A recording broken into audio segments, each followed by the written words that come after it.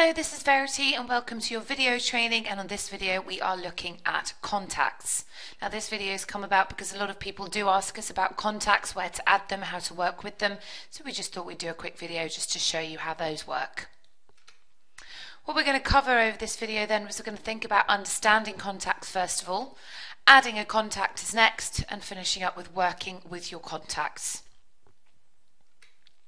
So understanding contacts is first, so we'll look at the contact grid and then the contact form. So in Expert Agent, hovering over contacts in the top menu and selecting grid.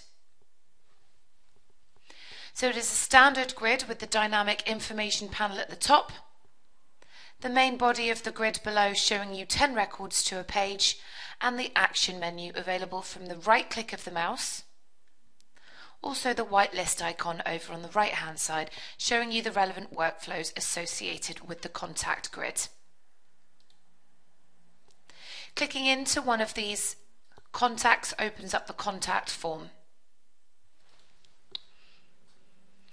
It's a standard form with the information panel at the top, the main body of the form below with all of these relevant tabs, and again the action menu available from the right click of the mouse also the whitelist icon over on the right hand side showing you all of the relevant workflows associated with the contact form. It's quite a simple this form, this one. We've got the details tab which has got all of the contact details for this content and the financial form which will add in your financial details for this particular contact.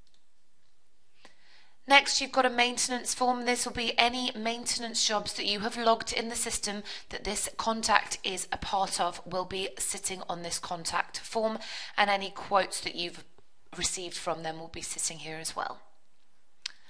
The statement tab is available for you if you are using Lettings Financials, and those are the statements for this contact.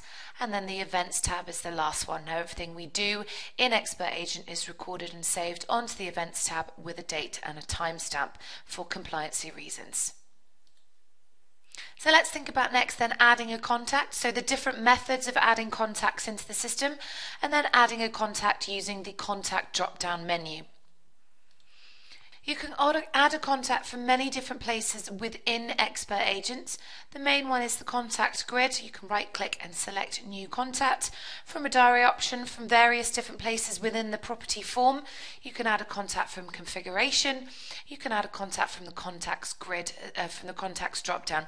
Anywhere you see this icon, anywhere within Expert Agent, you can add a contact in. Clicking on that though will open up the new contact wizard.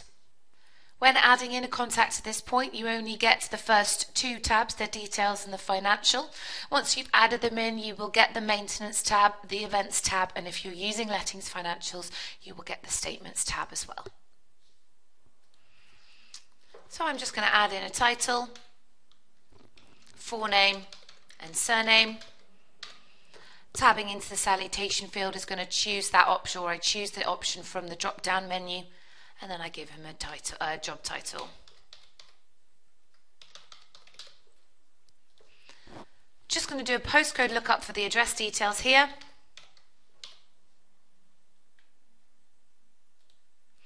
And then a company name if I need it.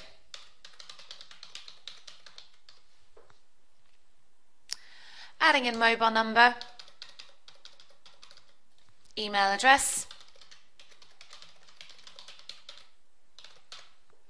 web link if they have one, work phone number,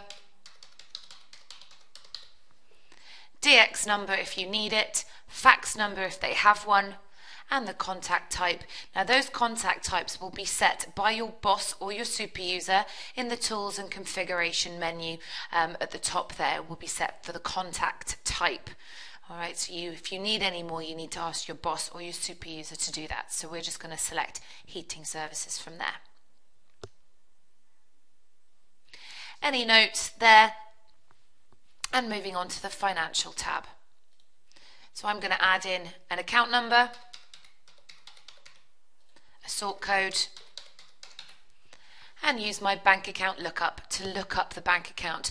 verify with me that it is, it is a valid bank account and place the information in the boxes below. If you don't want to use that at that point, at this point, you can just type them in manually.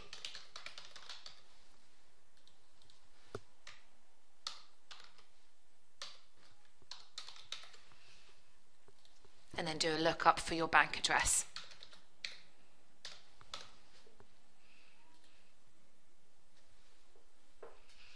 And at this point then, I'm just going to either press the save button there or right click and save and that will create my new contact form.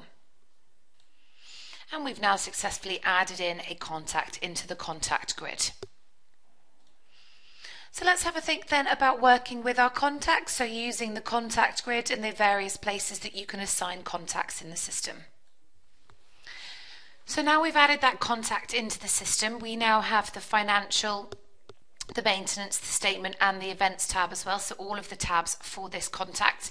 And from the maintenance tab, I can actually add this contact to maintenance jobs.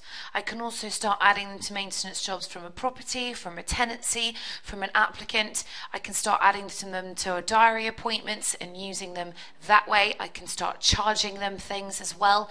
From the maintenance job forms, there is the option once you've chosen a contact as the contractor the option to then invoice the contractor as well if you're using lettings financials. But you can add your maintenance jobs from the contact.